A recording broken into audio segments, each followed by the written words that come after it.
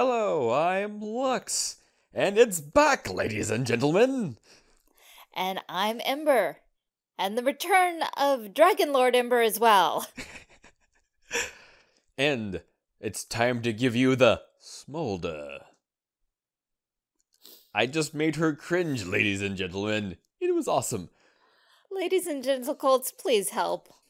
And this is our thoughts on My Little Pony Friendship is Magic, Season 8. Yes, 8. Episodes 1 and 2, School Daze. Well, I enjoyed that. That was fun. I liked how they handled everything. The only thing I didn't like about the two episodes was I could use a stronger word for it, but the I'm gonna say that naysayer. that's a good w- uh, insert pun here. Yes, because that guy could use a good swift kicking to it, and I forgot to double check it, but I'm pretty sure he was voiced by the guy who does Brain from Pinky and the Brain. Sounds quite like it, so if not him, someone who has a similar sound. It's kind of like if they snuck Patrick Stewart in there, kind of thing. Still a little disappointed that they didn't. Uh, it's okay, Chris, we like you. Yeah, he's an awesome voice actor. He did an excellent job on the character. It's just, it's kind of like finding out that Danny DeVito won't be voicing Detective Pikachu in the live action movie. Though who they're getting to voice him is someone you do not expect. Like a shrimp attacking you. Shrimps can attack you? No, they can't. That's why it's unexpected. Is this pony humor? Uh, also, the person who's doing Detective Pikachu is the guy who plays Deadpool. Just let that sink in for a moment. But moving on to the actual story and Twilight Sparkle starting a school. Good idea. Should have asked Celestia for more advice than just what was on the cue cards. Because I have a feeling that the rules in that book are actually kind of loose. They're not super strict. The head guy probably reads them that way, but I have a feeling the rest of the council probably doesn't. Because I have a feeling Celestia's school doesn't quite follow all of these regulations as well. She probably did when the school first opened. But I almost have a feeling that this guy's going to come back. Season opener villains usually return. But here's the thing he wasn't really a big bad. This is another season that no mystical, magical MacGuffin creature. He is much more dangerous than a mystical, magical MacGuffin creature. He is a narrow minded creature in a space of high authority. Ooh, good point. That is much more dangerous. Because any magical creature and magical big bad magical MacGuffin, we can hit with the good guy magical MacGuffin.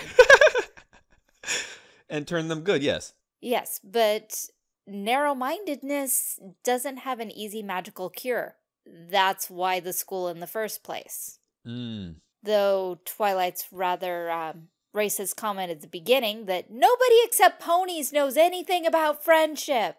These poor creatures have no idea about friendship. Well, here's the thing. Throughout the movies and the series itself, that kind of gets proven, but yeah, it's kind of a racist comment.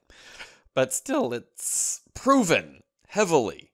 The only time these, which is kind of bummer, creatures find out about friendship is through ponies, which is kind of weird because at least maybe they don't like know the word friendship because I have seen friendships in other races in Equestria and stuff like that. Yeah, there have been friendships. They're just not by pony rules. Maybe it's specifically the magic of friendship she's trying to teach, which is different than friendship itself. Whatever. That comment was my first nitpick. Though that comment you had like right at the beginning of the episode was kind of fun too. I can't remember exactly what it was, but the tone in your voice was wonderful. It was like, ooh, I got shivers. I'm also moving a couple inches away from Ember.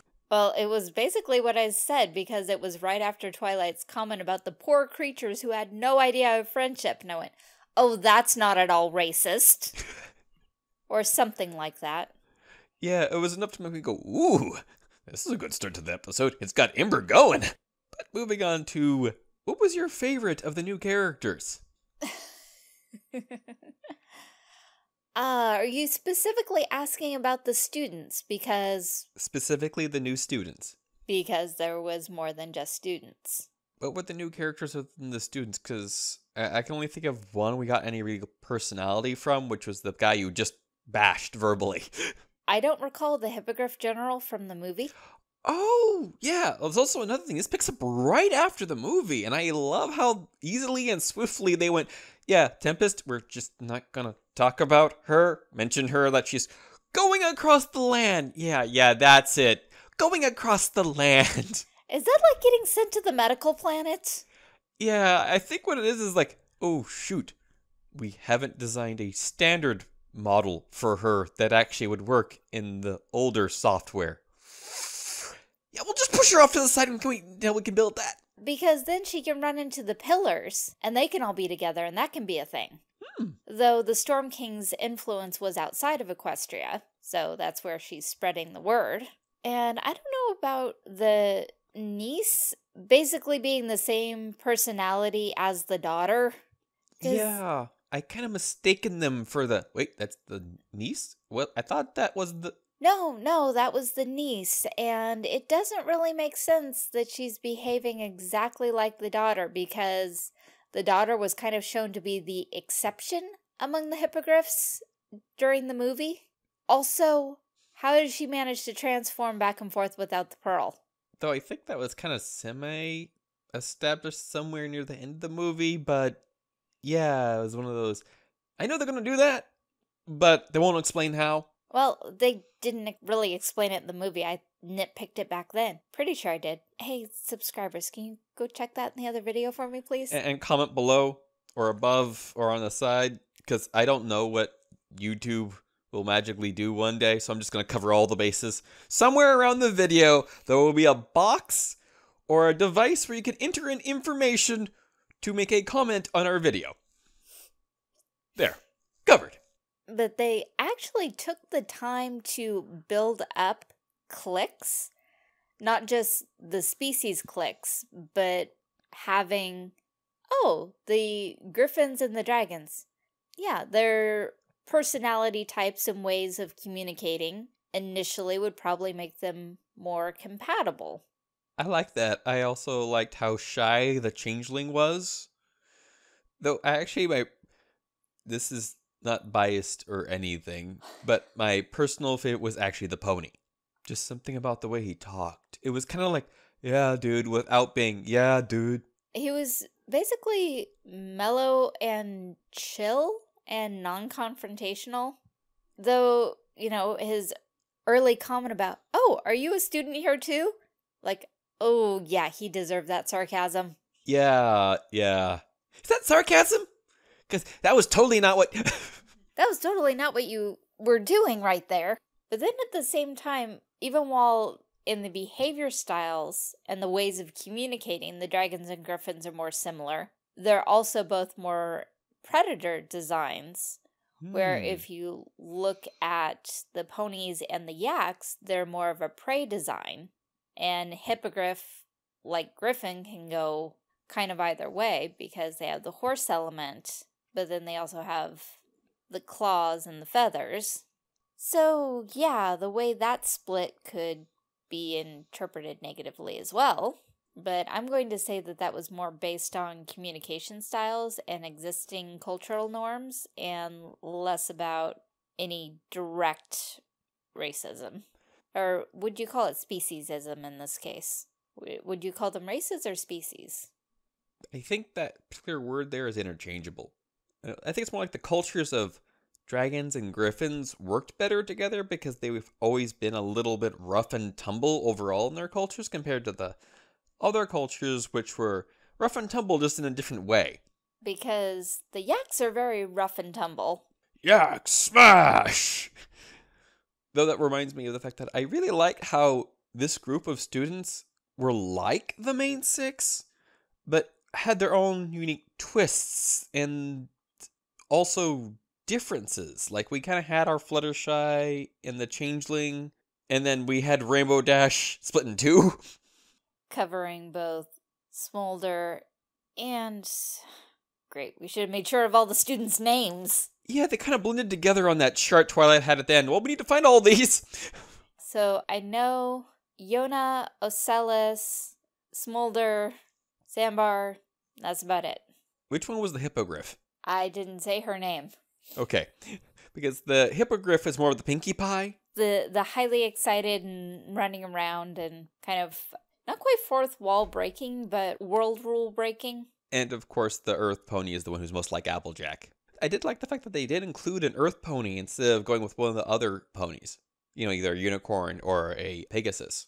Well, if you think about the overall mix, they already had three flyers Griffin, Dragon. Actually, flyers outnumber everyone else because Griffin, Hippogriff, Dragon, and Changeling can all fly. That's a total of four. So, including a Pegasus would have meant that only the yak was unable to fly. And including a unicorn would have probably given an overabundance of magic to the group, because all of the magical mischief uh, seemed to be limited to Ocellus, the changeling, just in case I got the name wrong. I also love how they used her transformation to the weirdest thing flying ever to scare the living daylights out of everyone else.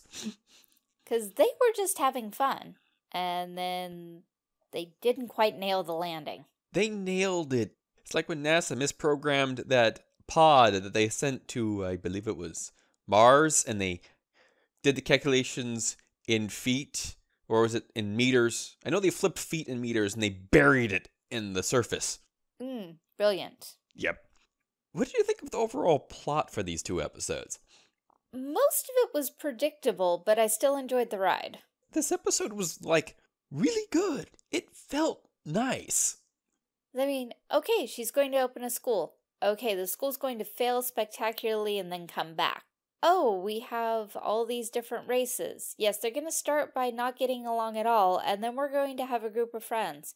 Oh, the school was shut down. Hmm, yeah, they're probably going to want to stay together. Yeah, I think the way they handled it worked really well. It was really smooth. I also loved how everyone just interacted with each other, and even though we spent time in the main six, they weren't the main focus. They were there, they were the framing for everything, and they still came back in in important moments. Because the lesson was for Twilight, but it was also for the students.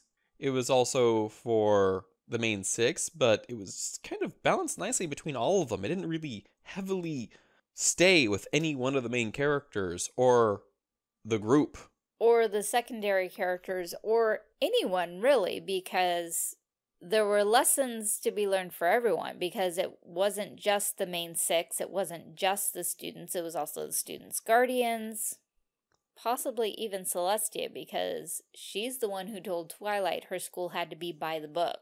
I think Celestia also forgot how by the book Twilight can be. I don't think she truly forgot that because Twilight had all her note cards and started asking lots of very good questions. And then Celestia deferred her to the rule book. But a lot of rules are open to interpretation.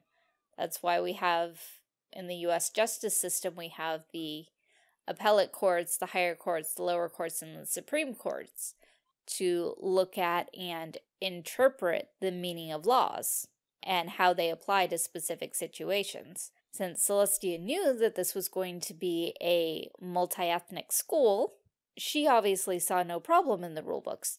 And there may not be a problem in the rulebooks. The problem may be specifically with the Chancellor.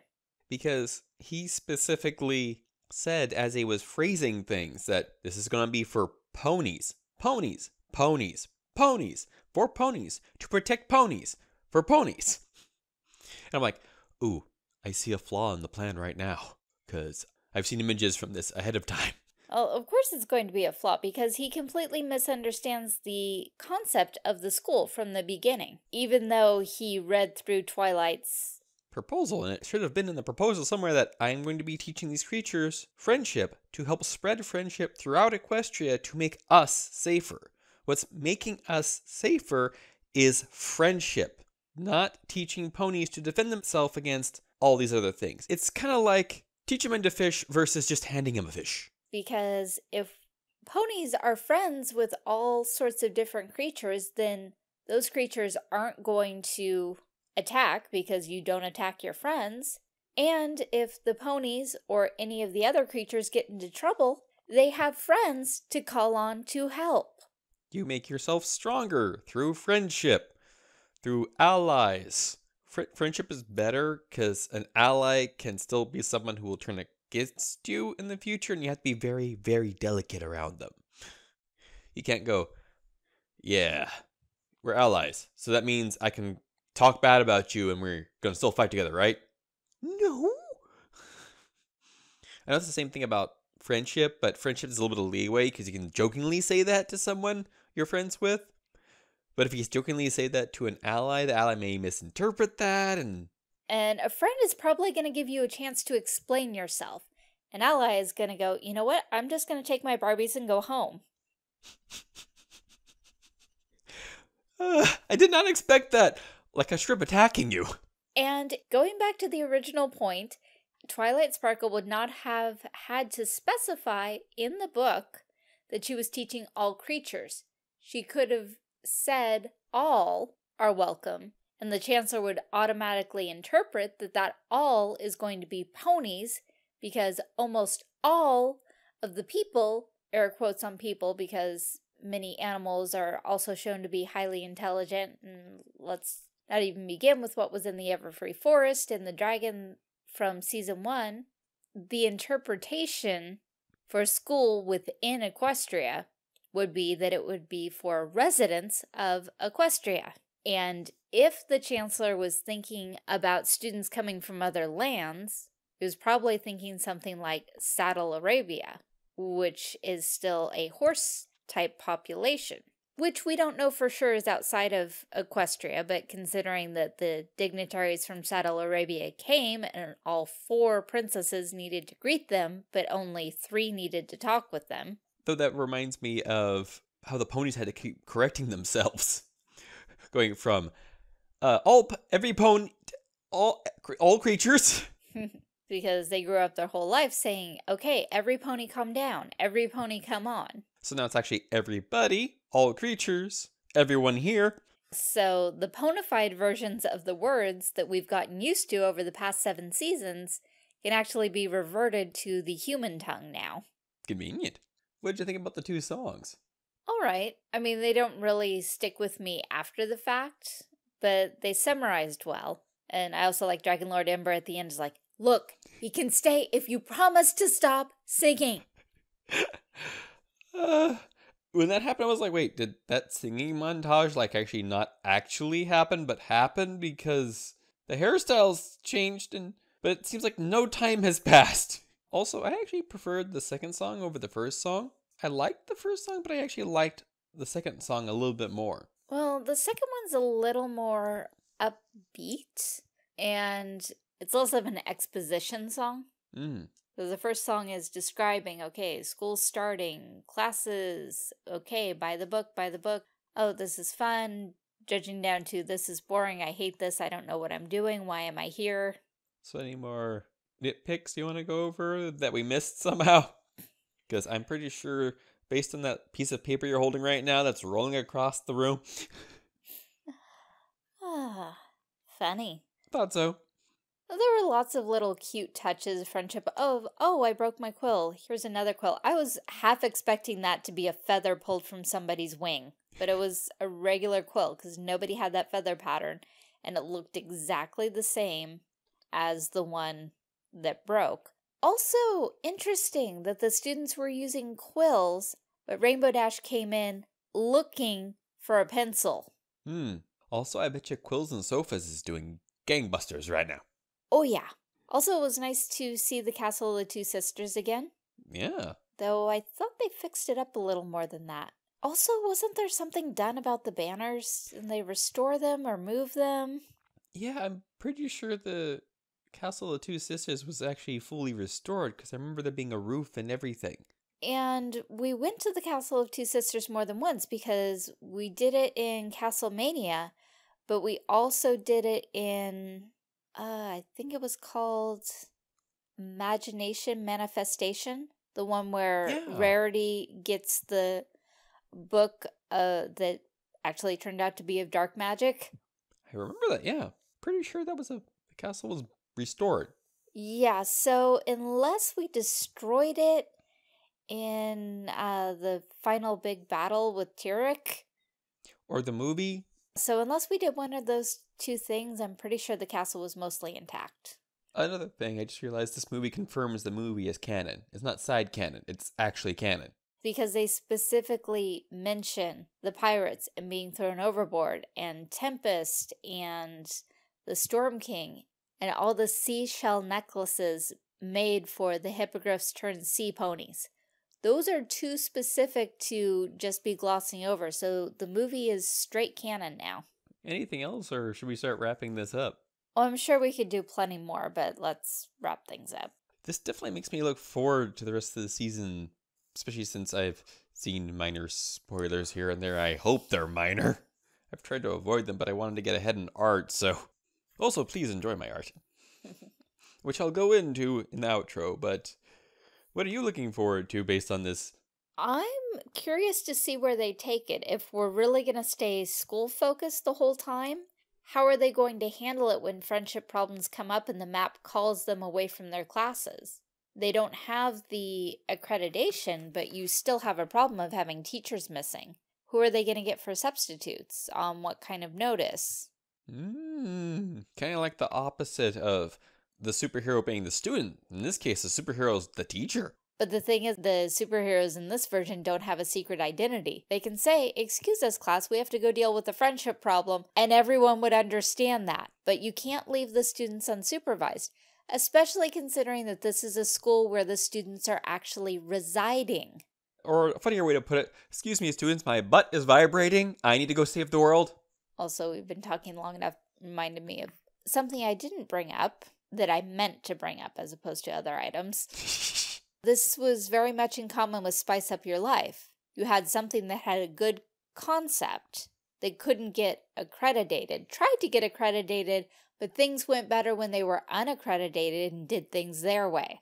Hmm. Also, that reminds me, what did you think of the morals? You know, the lessons that we were supposed to have learned those were a bit more complex because you had the students learning the more air quotes basic friendship lessons, and you had Twilight and the main six dealing with a different set of lessons of the importance of taking on new responsibilities, of giving appropriate feedback, of being true to yourself, of not following something just because it's the way it's always been done. Yeah, that's the one that really kind of like made me go, hmm, this particular part of the lesson can be interpreted in so many different ways, and a lot of them are bad. I'm going for the version of not sticking with something just because it's the way it's always been done, and less about the fact that they threw out a rule book and turned their backs on the entire system. I'm going to go with what you said. And this has been our thoughts on My Little Pony Friendship is Magic Season 8, Episodes 1 and 2 School Daze. So now it's the return to ponies and friendships and blah.